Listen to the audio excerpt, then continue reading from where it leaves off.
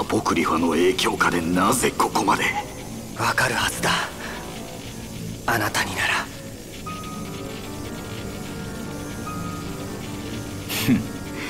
同胞を守ろうとする意志の力とでも言うのか？お前も同じか？バネア巨神界の者に組みし私を撃つのか？自らの生存の権利すら捨てて。そうよそれが私たちの運命なら喜んで受け入れるわ。それは里の者たちも同じ。生き残ったわずかな同胞ですら私を裏切ったか。面白い。違うわ。里の者たちも私も戦いを止めたかっただけ。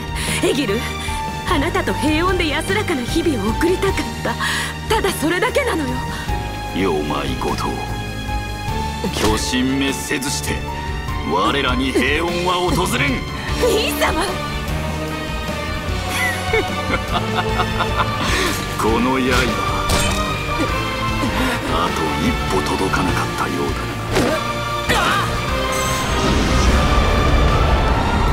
金色の鬼神兵。先の小虫呼ばわり。